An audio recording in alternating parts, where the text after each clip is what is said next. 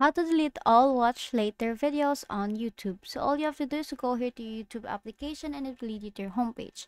Now on the bottom part, you'll see five options there. Tap on library.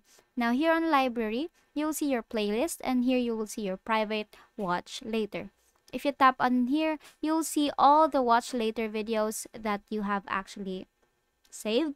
So on the upper right, you'll see three dots there. Tap on that and here there are only two options. Either you show unavailable videos or remove watched videos. So that's the only options there. So tap on remove so it will actually fill out filter out and remove all your watch to from later watched video that you have already watched and here are the videos that you've saved on your watch later but you haven't seen it yet so as you can see, there is no option to delete everything at once. So to, those to those videos that you haven't actually watched, it's either you have to watch them and delete them using this option or what you can do is to just swipe right to that YouTube, YouTube to that video and tap on delete and individually delete everything here just like this and basically that is how you delete all watch later videos on YouTube and that is all for today.